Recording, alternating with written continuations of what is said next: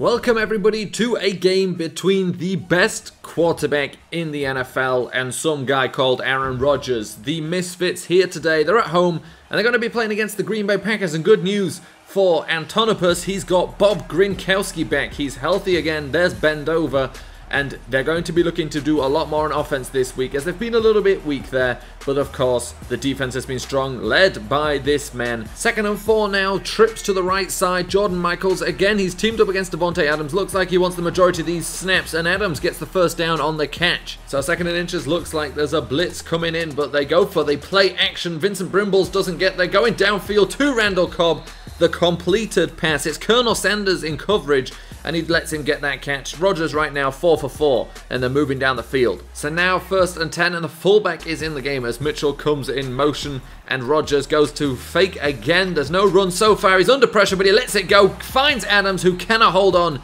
as he takes a hit there from Colonel Sanders. That one was close to a sack, then was close to a catch, and then close to an interception. There was a lot going on in that play, but in the end, nothing happened. So now, second attempt, we saw a little bit of pressure there, and let's focus on this defensive line who is yet to get to Rodgers and yet to really put him off his game. BJ Wiener needs to get a little bit of pressure on him, and again, he's got plenty of time to throw. He finds an open Cobb. Vincent Brimbles was the one coming close to him, finally tackles him at the three yard line. Defensive pass interference cost us two yards, which really isn't a problem if it stops a touchdown. So first and goal from the one rather than first and goal from the three. Rodgers under center, dropping back, quick five step drop, looking to run in, and he goes straight into the end zone, untouched.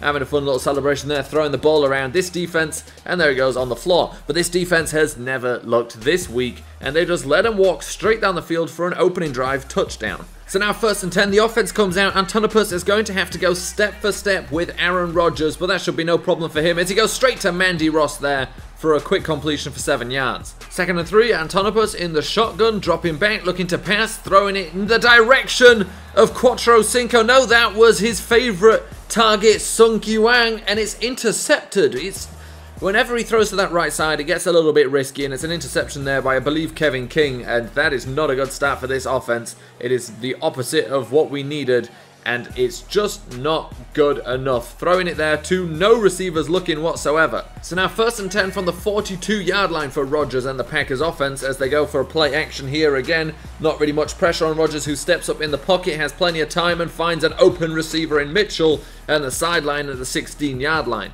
This defense has usually been strong, but Aaron Rodgers is completely picking them apart. Remember, this is a team that won against Tom Brady, but Rodgers seems to be something else for them as Jimmy Graham goes through the tackle of Colonel Sanders and is finally brought down by, I believe, Vinnie Cousins. And now the Packers in a heavy formation on the four yard line, going to probably run it. No, it's a play action again as Julie Mann brings down Aaron Rodgers. No chance for him there, and Maybin Forgotten came in as well, second and goal. So we enter the second quarter here, second and goal from the 12-yard line, and this time Rodgers is in the shotgun, looking to avoid that pressure that came in that time, as they go for the first handoff of the game, and Ty Montgomery runs over a man. You don't see that happen often, and that's a bit of an embarrassment right there, third and goal at the six-yard line that sets up. It was Lil Dime who got trucked by Ty Montgomery. Second and 11, James James is in the game. Antonopoulos probably looking to pass now as Mandy Ross comes in motion. They go for the pitch instead, and he's got some blockers in front of him. James James gets tackled. Third and one, James James still in the game. James James getting the ball, and he's running well. It gets the first down before being tackled.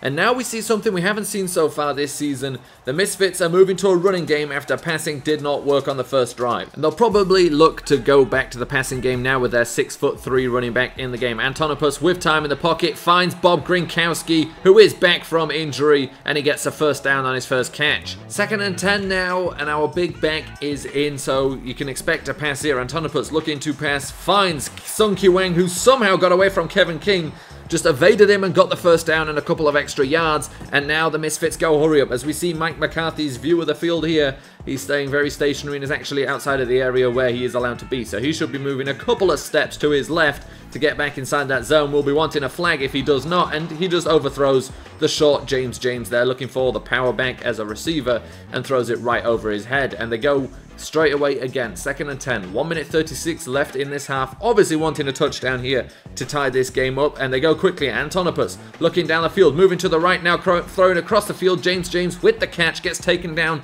just shy of the first down. Less than one minute left in this game, 56 seconds left, 16 yards to go to the end zone. Antonopoulos with James James behind him in the pistol. We've got a blitzer coming down in Ha Ha Clinton-Dix. Antonopoulos does not let go of it. The pressure is too much. Clay Matthews with the sack. So this will set up third and 10 at the 22 yard line. Antonopoulos, empty formation, there on his own. Hopefully the line will be able to block for him. They do a good job. Completes to Sung Ki Wang, who cannot keep a hold of the ball. So the Packers kicking off to start the second half, and it's Raj Gurdeep in the back to take it back, and he gets to the 30 yard line, the 31 yard line before finally being stopped.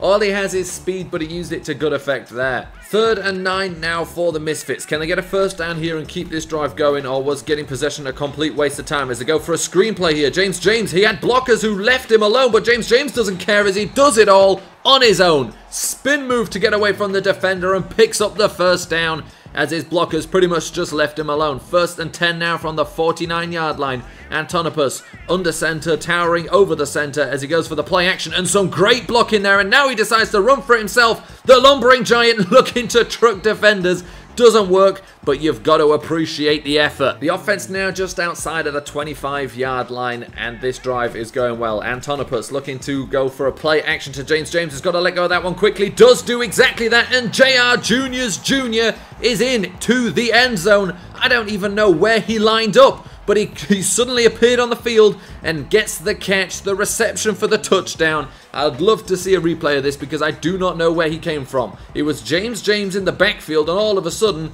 JR Juniors Jr. is there as a receiver, catches the ball, nobody touches him, he's into the end zone for the touchdown. But of course, that's what you'd expect from your receiving back. Good hands, and there's the score. That will tie up this game. Valdes-Scantling looking to take this ball back and takes a big hit from right foot at the 26 yard line. The kicker can hit two.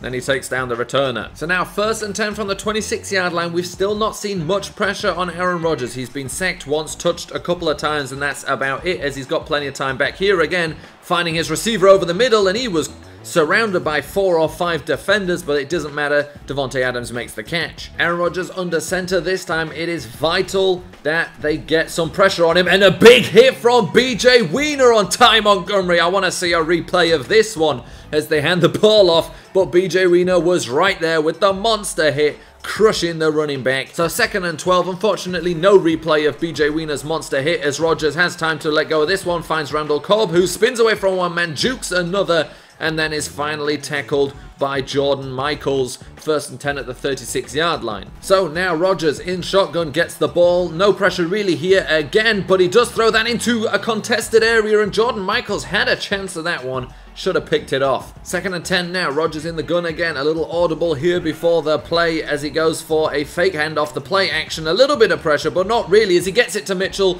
when nobody is near him. Chad Kroeger doing absolutely nothing in coverage, and it's a touchdown to the Packers. Rodgers right now just picking apart this defense that until now has been very good. And here comes Thanatos Antonopoulos. 14 attempts, 9 completions, 105 yards, and a split bill on touchdowns and interceptions.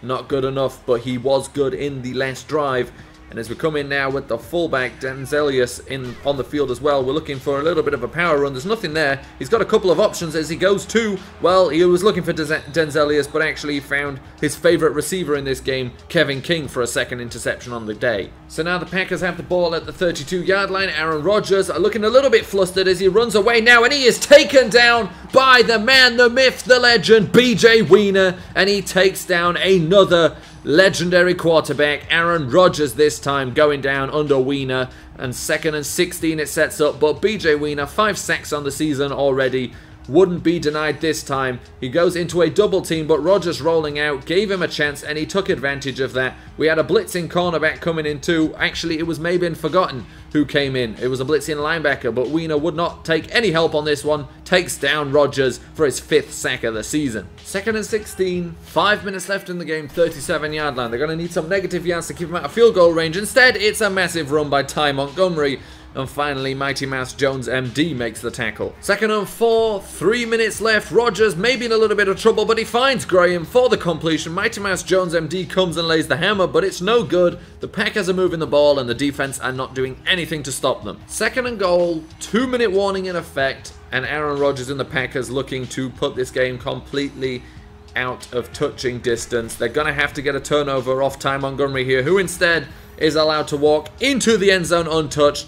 This is probably the worst game this defense has played all season, and they really haven't done anything all game long. There's 1 minute 33 seconds left to still score 14 points. Start pushing this ball downfield or throw a third interception of the day to Kevin King. Why not? Kevin King has more receptions today than any one of our receivers. So fourth and one, you figure it's Hail Mary time. I mean, you've completely given up on this game at this point anyway, but let's see what Antonopoulos can do. He's got a pretty big arm and he throws it early. No idea why he threw it early and that's incomplete and the Packers get the ball back. At least take all the time off the clock. Bashaud Breeland apparently knocks that one incomplete. And we should see Aaron Rodgers get his knee dirty on this one and end the game here at 24 to 10. It's not the first game the Misfits have lost, but it is the worst game the Misfits have lost as this defense did absolutely nothing and the offense probably looked just as bad. There's interception number one by Kevin King. That's, I think, still interception number one by Kevin King. That's interception number two by Kevin King, and we didn't get to see interception number three. But we're going to have to see how many total receptions our receivers have, because I doubt it's much more than three.